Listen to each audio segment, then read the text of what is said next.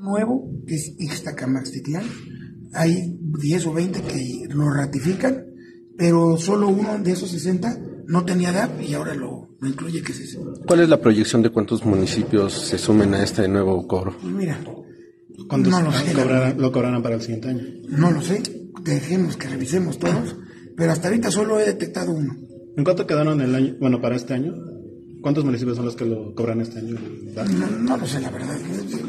Son muchos dictámenes que hay que revisar. Cuando terminemos de aprobarlos, les digo, De esos 60 son de la zona metropolitana, ¿alguno? ninguno de la zona metropolitana.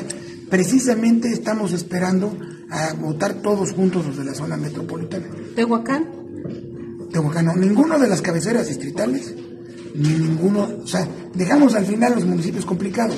Ahorita estamos sacando los municipios más sencillos, los que son menos, o sea, los que tienen menos que revisar para irnos más rápido. Entonces,